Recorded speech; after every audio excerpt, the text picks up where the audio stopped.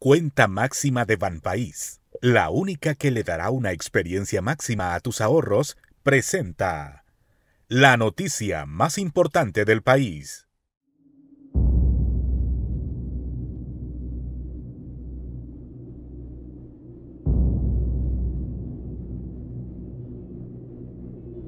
Por muchos años el Estado de Honduras ha venido arrastrando un sistema sanitario en condiciones deplorables, centros asistenciales en malas condiciones, hospitales sin medicamentos y con escasos personal médico, incluso en muchas ocasiones con una atención inhumana, escenarios que han tenido que enfrentar los galenos y aún más aquellos que sufren a causa de una enfermedad. Todo hondureño por nacimiento y ciudadano que radique en el país tiene el derecho humano de gozar de un sistema de salud adecuado y digno como garantía social, líneas que tienen sustento en la misma Constitución de la República. Se reconoce el derecho a la protección de la salud.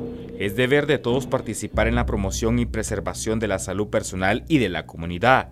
El Estado conservará el medio ambiente adecuado para proteger la salud de las personas. Panorama que no se ha venido cumpliendo como lo reza la Carta Magna del país, asegura la titular del Colegio Médico de Honduras, Suyapa Figueroa. Esto constituye también una violación a preceptos constitucionales y obviamente es eh, una violación a un derecho fundamental, eh, un derecho humano, eh, y el Estado se convierte en un reiterado violador de derechos humanos.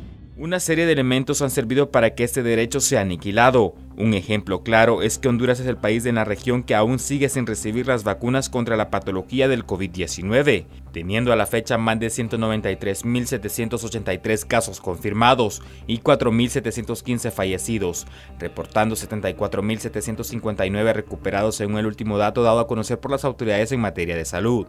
Otro de los escenarios que está quebrantando el sistema de salud en la nación es el cierre de más de 28 centros de estabilización temporal o conocidos como triajes, según entidades sin olvidar el colapso que se reporta en las diferentes salas de coronavirus en los centros hospitalarios del país.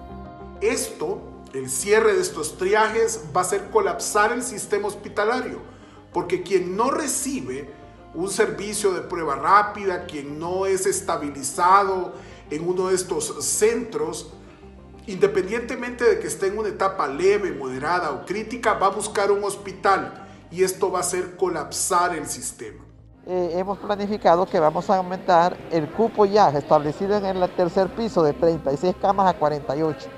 De manera que el hospital escuela con esta oferta son 12 eh, cupos más en el tercer piso y 6 cupos más en el dato de en medio centros que han servido para ejecutar diagnósticos y atención de pacientes considerados como leves y hacer referencia de pacientes graves, jugando de esta manera un papel muy importante a lo largo del contexto que se vive en el país por la emergencia sanitaria.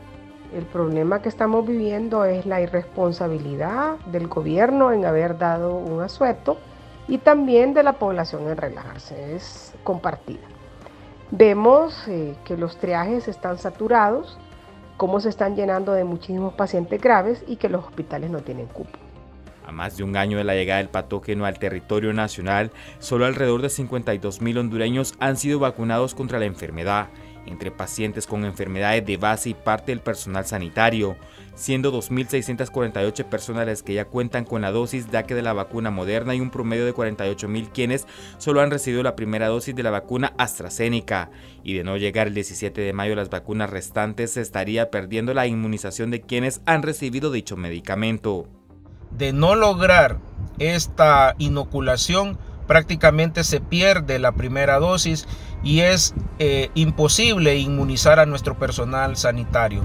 Por lo tanto, le pedimos a las autoridades de la Secretaría de Salud que hagan su mejor esfuerzo diplomático para que el sistema COVAX nos mande oportunamente estas vacunas. Todavía tenemos hasta el 17 de mayo y esperemos que estos plazos se puedan cumplir. El perjuicio al Estado de Honduras en relación al manejo de la emergencia sanitaria ha sido millonario desde la compra sobrevalorada de hospitales móviles, centros de estabilización, insumos médicos y medicamentos, implementos que en muchas ocasiones no han cumplido con los estándares requeridos, por lo que el país se convierte en una nación sin el derecho a la salud, pero sí donde impera la corrupción.